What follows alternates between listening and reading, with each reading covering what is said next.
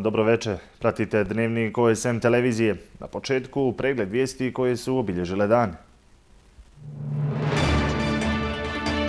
Predsjednik Republike Srpske Željka Cvijanović u istočnom Sarajevu razgovarala sa ministrom inostranih poslova Srbije Nikolom Selakovićem i sa rukovodstvom opštine Istočno Novo Sarajevo. Šef srpske diplomatije Nikola Selaković u Sarajevu sa predsjedavajućim savjeta ministara BiH Zoranom Tegeltijom i ministrom inostranih poslova Biserom Turković razgovarano o unapređenju odnosa Srbije i Bosne i Hercegovine.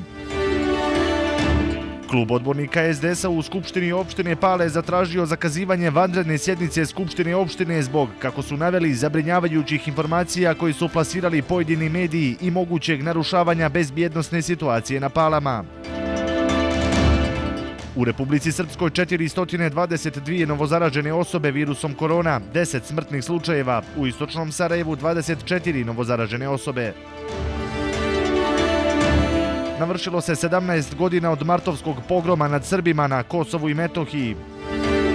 Sutra oblačno sa snijegom.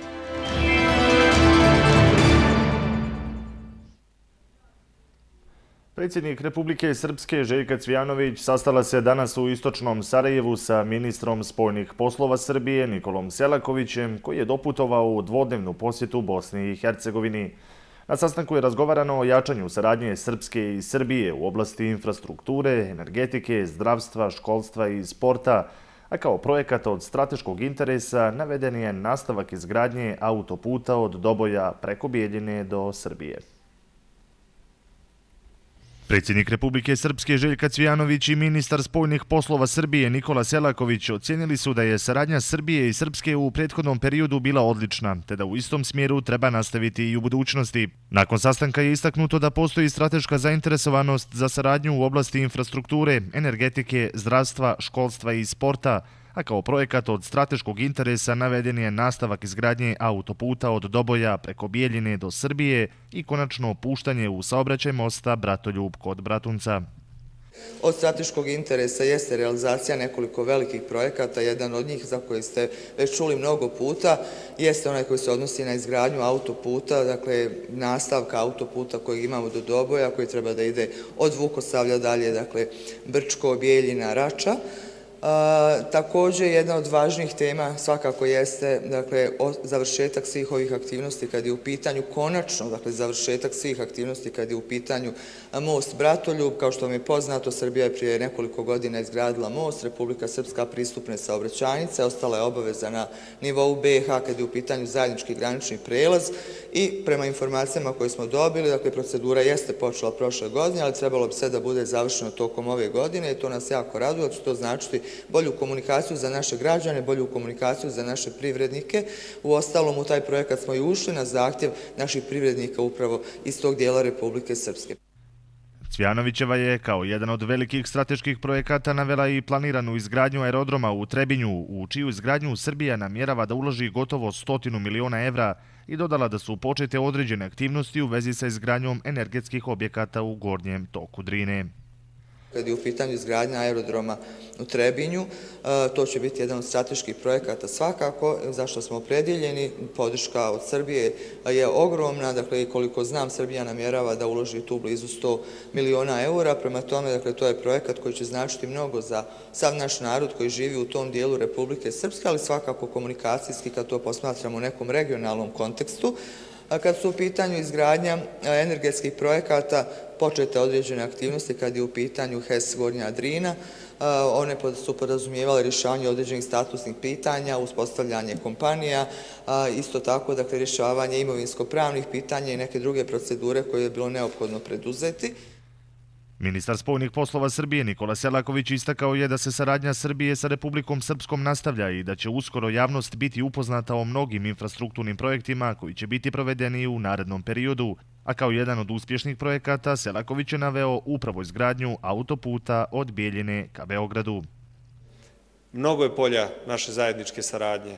Prvo u skladu sa samim sporazumom o specijalnim i paralelnim vezama, a satim i onih sporazuma od kojih čitava Srbija i Bosna i Hercegovina imaju ozbiljne koristi i ozbiljne benefite. Predsednica je već pominjala izgradnju autoputa za one koji idu preko Bijeljine, ka Beogradu, već mogu da vide i prve obrise mosta u nastajanju na Sremskoj rači. Uveren sam da ćemo uskoro biti u prilici da vidimo i samu trasu autoputa koja se radi, ali i da kažem da tokom ove godine, faktički do sredine decembra, do Svetog Nikole, očekujemo da vidimo u Srbiji gotovu deonicu autoputa koja sad, koji sad ide od Beograda do Preljine, odnosno do Čačka, da bude produžen do Požege i samim tim bude bliži i našoj zapadnoj granici, bude bliži i Užicu, Kotromanu, Višegradu i onoj trasi budućeg autoputa koji će voditi sa te strane ka Sarajevu. Na sastanku, kako je rekao Selaković, bilo je riječi i o zajedničkoj saradnji na polju jačanja srpske dijaspore, a govoreći o zajedničkim investicionim projektima, Selaković je izrazio nadu da će u ovoj godini moći da se ide iz Ljubovije u Bratunac preko novog mosta Bratoljub. Cvijanovićeva je izrazila posebnu zahvalnost Srbiji što je svojim donacijama u prethodnim godinama ostavila tragu u svakoj opštini Republike Srpske, a naročito za pomoć u prošloj i ovoj godini u vrijeme krize izazvane virusom korona. Cvijanovićeva je navela da ministar Selaković dobro poznaje prilike u BiH i Republici Srpskoj, te da to može doprinijeti jačanju odnosa zemalja u regionu.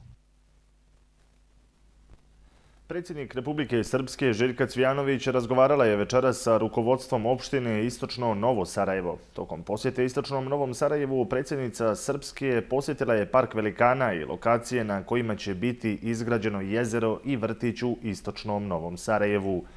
O detaljima posjete predsjednice Cvijanović opštini Istočno Novo Sarajevo informisat ćemo vas u našem sutrašnjem dnevniku. A predsjedavajući Savjeta ministara Zoran Tegeltija razgovarao je danas u Sarajevu sa ministrom inostranih poslova Srbije Nikolom Selakovićem. Tegeltija i Selaković su se saglasili da je regionalna saradnja od strateškog značaja za Bosnu i Hercegovinu i Srbiju. Ocijenili su da uprkos dobrim i konstruktivnim odnosima u različitim oblastima između BiH i Srbije postoje određena otvorena pitanja koje zahtijevaju rješavanje u budućim bilateralnim aktivnostima na političkom i ekspertskom nivou, poput razgraničenja i imovinsko-pravnih pitanja. Celaković je u Sarajevu razgovarao i sa ministrom inostranih poslova u Savjetu ministara BiH Bisanom Turković o unapređenju odnosa Srbije i Bosne i Hercegovine. Mi smo vrlo opredjeljeni da jačamo naše dobrosusjedske odnose, da jačamo ekonomiju i kulturnu saradnju, da gradimo infrastrukturu i da zajedno radimo na povezivanju cijelog regiona.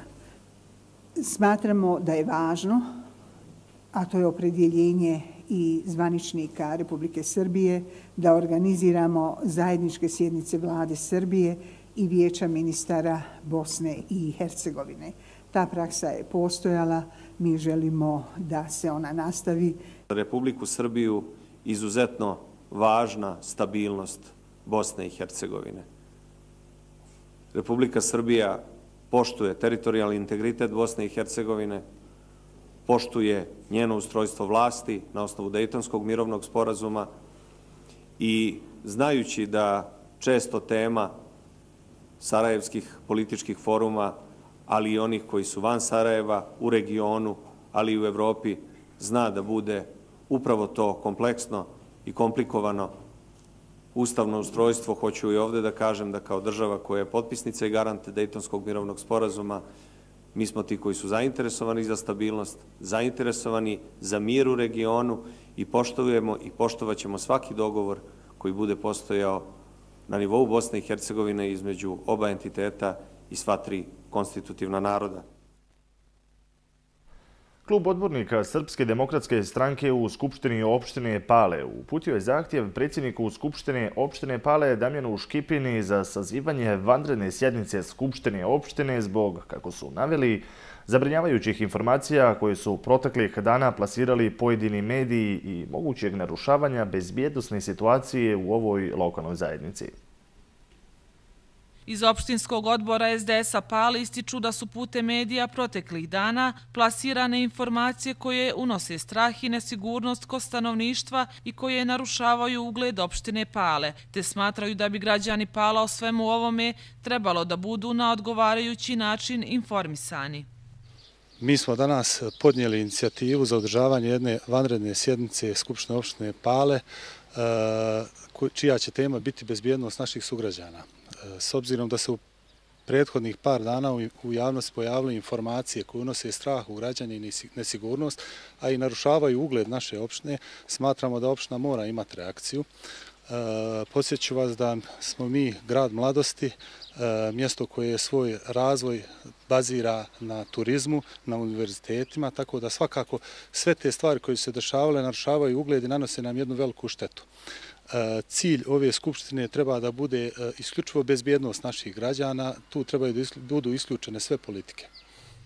Iz Paljanskog SDS-a navodi da bi na sjednici Skupštine opštine Pale trebalo obavezno da prisustvuju predstavnici Policijske uprave Istočno Sarajevo, Olimpijskog centra Jahorina, predsjednik regionalnog odbora Demosa Aco Stanišić i predsjednik opštinskog odbora Demosa Pale Dejan Kojić.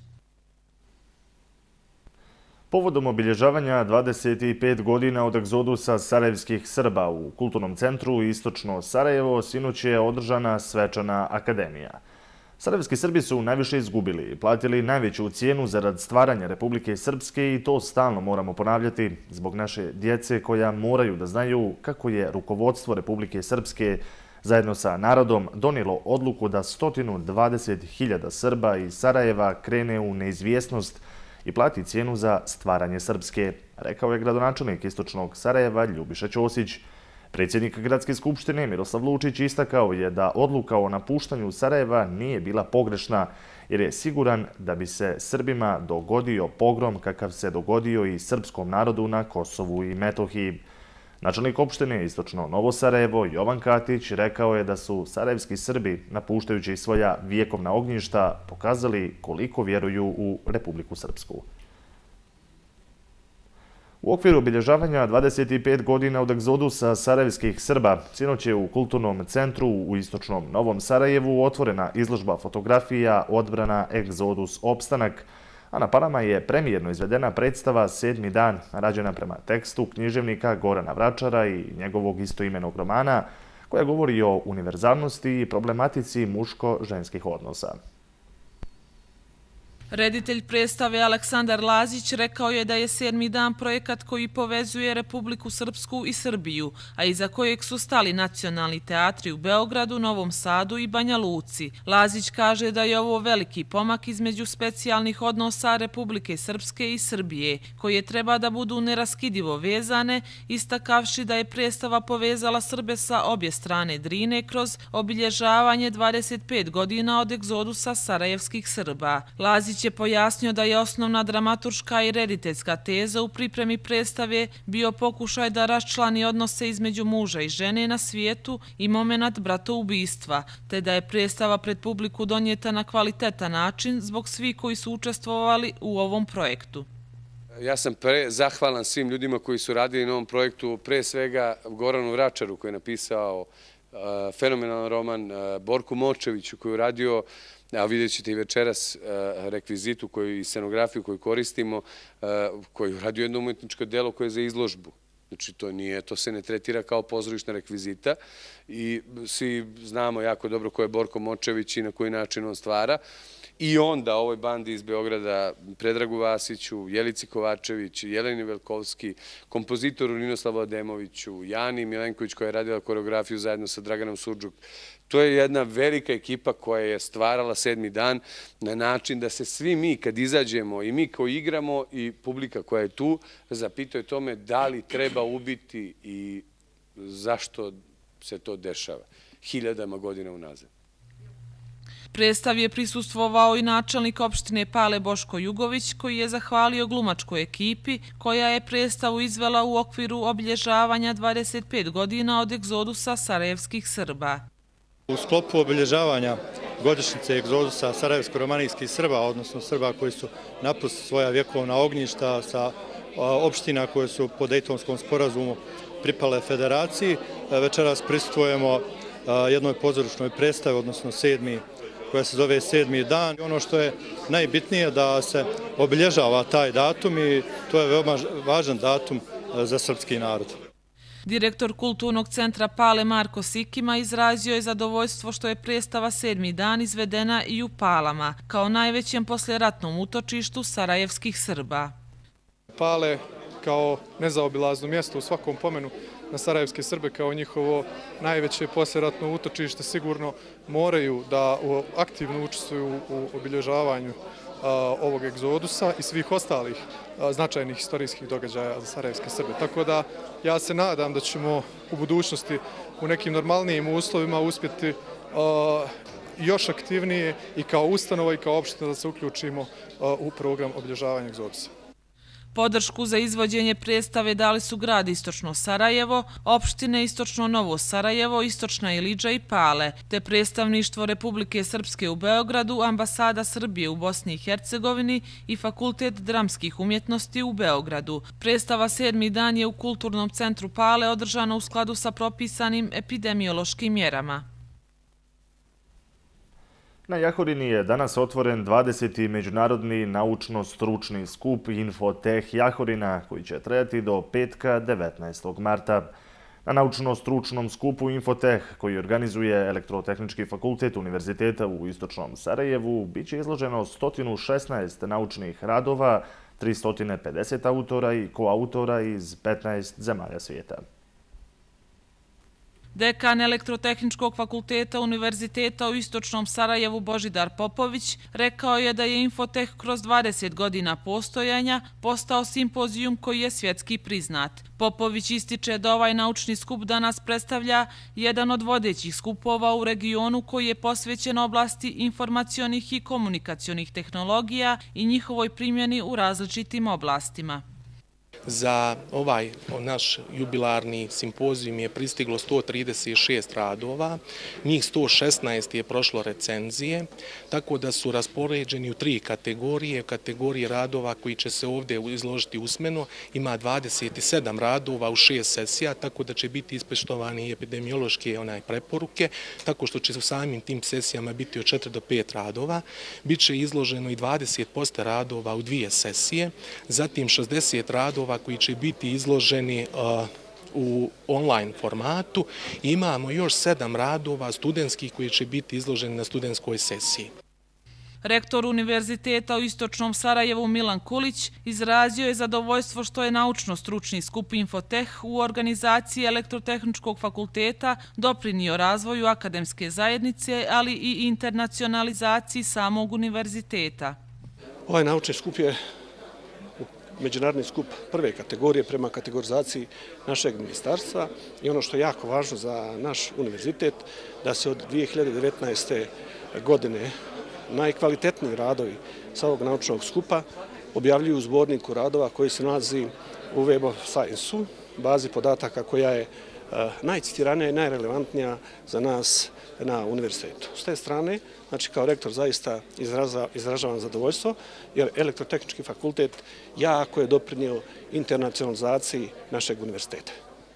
Profesor Univerziteta tehničkih nauka u Novom Sadu Stevan Stankovski rekao je da u naučnom skupu Infoteh učestvuje od njegovog osnivanja i da je na svakoj od ovih konferencija imao rad i bio član organizacionog odbora. Najveći broj radova s ove konferencije indeksiran je u svjetskoj bazi naučnih radova i to je ističe veliki iskorak u prepoznavanju Infoteha ne samo u regionu nego i u svijetu.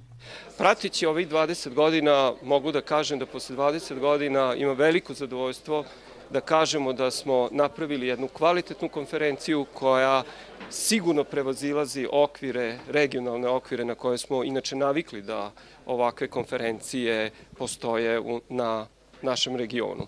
Prvi simpozijum Infoteh Jahorina održan je 2001. godine na kom su predstavljena 53 rada, a do danas na ovom naučnom skupu predstavljeno je više od 3000 radova iz oblasti informacijonih i komunikacijonih tehnologija. Na današnjem naučno-stručnom skupu dodijeljeno je 28 plaketa zaslužnim institucijama i pojedincima, koji su tokom 20 godina doprinjeli razvoju Infoteha. U Republici Srpskoj u protekla 24 časa zaraza virusom korona potvrđena je kod 422 osobe, a od posljedica zaraze preminulo je 10 pacijenata. Podaci su Instituta Srpske za javno zdravstvo. Najviše novozaraženih je u Banja Luci, 96, a u istočnom Sarajevu zaraza je potvrđena kod još 24 osobe, od kojih je 8 iz istočnog Novog Sarajeva, 7 iz istočne Liđe, 6 sa Pahla, dvije osobe sa Sokoca i jedna osoba iz istočnog Starog grada. Zbog pogoršane epidemiološke situacije, direktor Instituta Srpske za javno zdravstvo Branislav Zeljković rekao je da će institut danas Republičkom štabu za vanredne situacije uputiti prijedlog za uvođenje restriktivnih mjera u Srpskoj. Predstavnici Evropske unije u BiH donirali su danas Institutu Republike Srpske za javno zdravstvo 375.000 zaštitnih rukavica vrijednosti oko 53.000 maraka, a kompanija Medimpex iz Sarajeva nabavit će 500.000 vakcina Sputnik za Federaciju BiH, odlučila je sinoć vlada Federacije BiH na hitnoj sjednici. Vlada je naložila Federalnom zavodu za javno zdravstvo da sa Medimpexom potpiše ugovor da u roku od tri dana dostavi prvi kontingent od najmanje stotinu hiljada vakcina. U Federaciji BiH u protekla 24 časa zaraza je potvrđena kod 1216 osoba, a preminula su 24 pacijenta. Podaci su Federalnog zavoda za javno zdravstvo.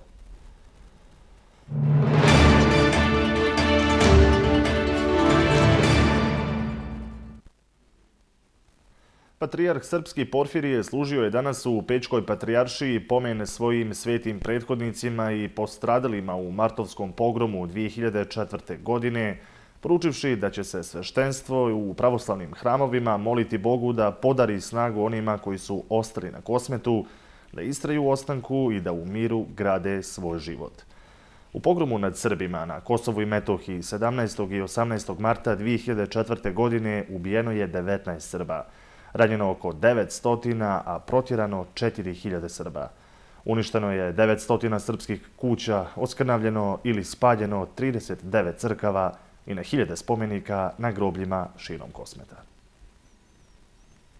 U pogromu nad Srbima na Kosovu i Metohiji 17. i 18. marta 2004. godine ubijeno je 19 Srba, oko 900 je ranjeno, a 4000 je protjerano. Uništeno je 900 srpskih kuća, a oskrnavljeno 39 crkava i na hiljade spomenika na srpskim grobljima. Do temelja su srušeni manastir Devič kod Srbice i konaci manastira Sveti Arhangela kod Prizrena. U Prizrenu su izgorjele crkva Bogorodice Ljeviške iz 14. vijeka, koja je kasnije stavljena na listu spomenika pod zaštitom UNESCO, crkva Svetog Đorđa iz 16. vijeka, na čijem je svodu ispisana prijeteća poruka smrt Srbima. U Podujevu je srušen krst sa crkve Svetog Andreja, a u Prištini spaljena crkva Svetog Nikole. Oko hiljadu stanovnika Prištine evakuisali su britanski vojnici u bazu kod Kosova polja, odakle su vojnim kamionima prevezeni u fiskulturnu salu škole Kralj Milutin u Gračanici. NATO je na kosmet uputio dodatne trupe, a komandant južnog krila alijanse admiral Gregory Johnson nakon dolaska na kosmet utvrdio je da je nasilje u pokrajini organizovano i orkestrirano. Isto je rekao i generalni sekretar NATO-a Javier Solana, koji je sa tadašnjim predsjednikom samoproglašenog Kosova Ibrahimom Rugovom obišao zgrade iz EU programa u Kosovu polju. Nasilje nad Srbima osudio je Savjet bezbjednosti Ujedinjenih nacija i tadašnji generalni sekretar Kofi Annan, kao i sve značajnije međunarodne institucije i organizacije vlade mnogih država, uključujući Sjedinjene američke države i Rusiju. U istražnom pritvoru bilo je više od 250 osumnjičenih za učešće u nasilju nad Srbima, ali je samo nekoliko njih kažnjeno simboličnim novčanim kaznama. Ukoliko Kosovska policijska služba dozvoli da se naruši odluka o zabrani okupljanja zbog epidemije koronavirusa, sutra će u centru Gračanice biti služen parastos i prislužene svijeće ispred spomenika kosovskim junacima za žrtve Martovskog pogroma. Iz svijeta, takozvani COVID pasoši bit će kreirani tako da građanima Evropske unije omoguće slobodno i bezbjedno putovanje unutar bloka.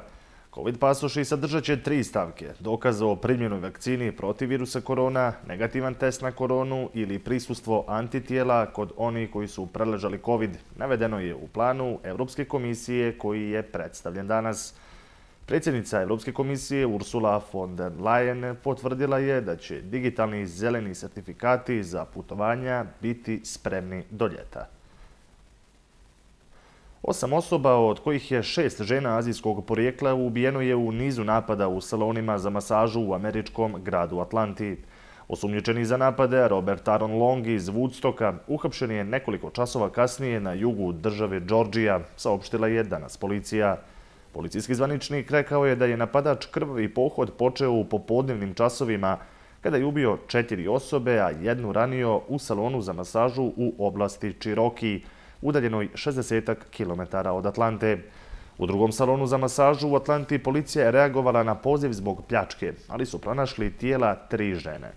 Tokom istrage o napadu, policija je pozvana u sličan salon preko puta ulice gdje je ubijena četvrta žena. Još nije poznat motiv ovih napada.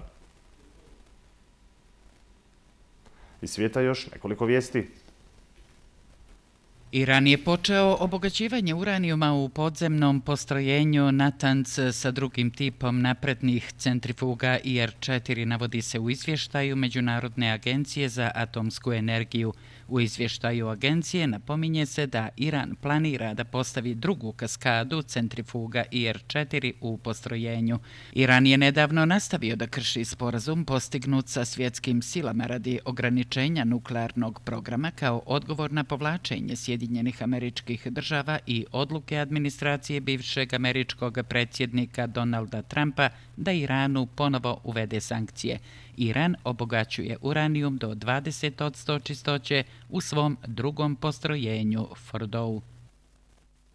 U Francuskoj je danas počeo novi sudski proces protiv bivšeg predsjednika Nikole Sarkozija prema optužbama za ilegalno finansiranje kampanje dvije sedmice nakon što je proglašen krivim u odvojenom procesu za korupciju. Sarkozi je optužen da je 2012. godine tokom predizborne kampanje premašio legalne granice troškova za 20 miliona evra. Osim Sarkozija, još je 13 osoba optuženo za prevaru ili saučesništvo. Takozvana afera eh, Bingalion odnosi se na lažne memorandume objavljene da bi se troškovi Sarkozijeve kampanje držali ispod zakonske granice od 22,5 miliona evra. Presuda se očekuje sredinom aprila. Sarkozi se suočava sa zatvorskom kaznom od godinu dana i novčanom kaznom od 3750 evra.